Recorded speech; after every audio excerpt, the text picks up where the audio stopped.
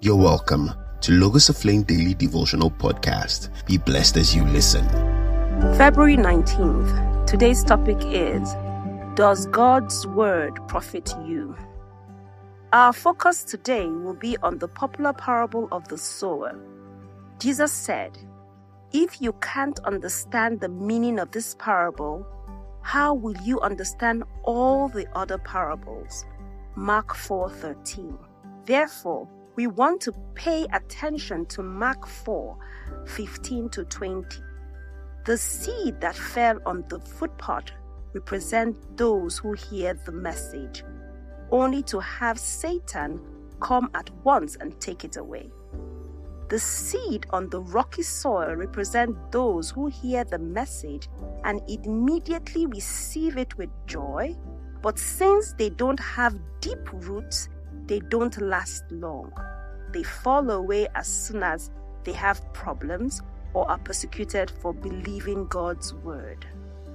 The seed that fell among the thorns represent others who hear God's word, but also quickly the message is crowded out by the worries of this life, the lure of wealth, and the desire for other things, so no fruit is produced and the seed that fell on good soil represent those who hear and accept God's word and produce a harvest of 30, 60, or even 100 times as much as had been planted. What we can deduce from this passage is that whenever the word of God is preached, or when people read their Bible, you are likely to have the four classes of people or four types of outcome highlighted in this parable. Therefore, the question is what class of soil would you like to be?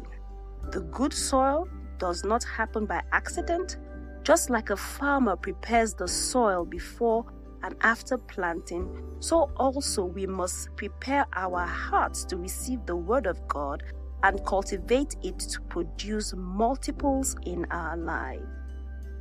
Tips to being the good soil. Always pray for the understanding of the Word before you read, listen to it. Cut out all distractions, smartphone, TV, etc Stay focused on the word alone. Meditate on the word day and night so it can take root in your heart. Memorize the word. Dig deep by studying the word. Believe what the word says. Obey specific instructions promptly. When problems, worries, or persecution arise, turn to the word and pray. Practical reflections 1. Join the Lamb yearly program of reading through the Bible if you have not done so. State how you intend to follow through with minimal missed days. 2. Challenge yourself to memorize the word. Our Bible reading is from Leviticus 7 28 through 9, verse 6.